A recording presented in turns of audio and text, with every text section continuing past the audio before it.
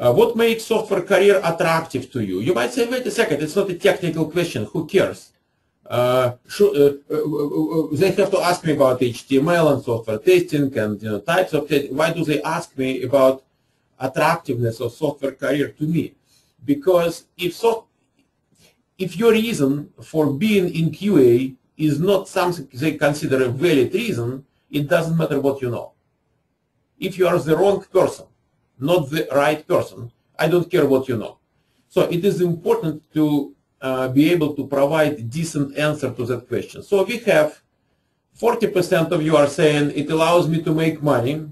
Guys, definitely, definitely certain professions are offering better financial compensation. Uh, but if you go and ask doctors, go to doctors and ask them, listen, doctor, did you want to be a doctor because of the money you make? And the doctor would be outraged. Doctor will tell you, no, I want to help people. But you know what? The way they help people comes with more money than, you know, when you help people uh, uh, cleaning carpets. And, and you still help people, you know, when you clean carpets. Uh, if you, even if you go to attorneys, my daughter graduated from uh, law school and she's an attorney. And I asked her, listen, um, kids in, in your law school, uh, why are they in law business? She says, you won't believe it. They want to help people. So guys, you are in software QA profession because that is your way of helping people, uh, making the world better place. Okay, so you might you might definitely consider money. You you just don't tell anybody.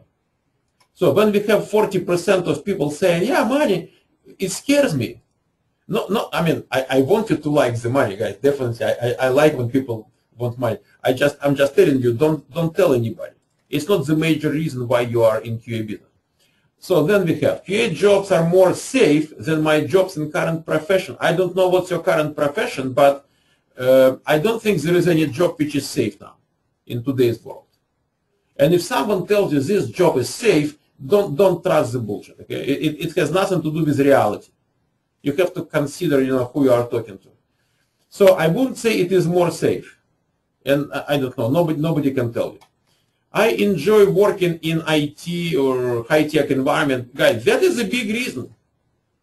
Definitely IT environment or high-tech environment, uh, if you have college degree, if you work, if you want to do intelligent work, if you want to work next to educated, intelligent, nice, self-sufficient people making good income, definitely it is an environment to enjoy.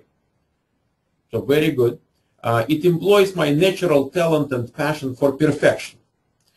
Uh, not bad, not bad. You just have to say it the way I trust you. If you tell me that you have natural talent and passion for perfection, when I listen to you, I shouldn't have any doubt about it. So it might be good for some people, it might not be good for some people. So you, you decide which way you want uh, to answer, but I'm just uh, telling you what's